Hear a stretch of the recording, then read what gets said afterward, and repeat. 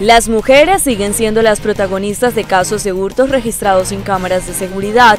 Esta vez hasta un supermercado del sector de Tierra Santa llegó esta mujer con un bebé en sus brazos para llevarse algunos productos del lugar.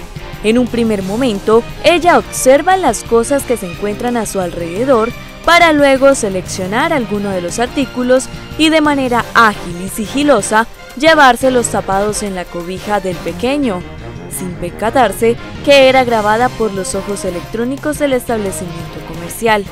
En la actualidad, son varios los casos registrados ante la irresponsabilidad de los padres de familia en donde los niños son instrumentalizados para cometer los delitos.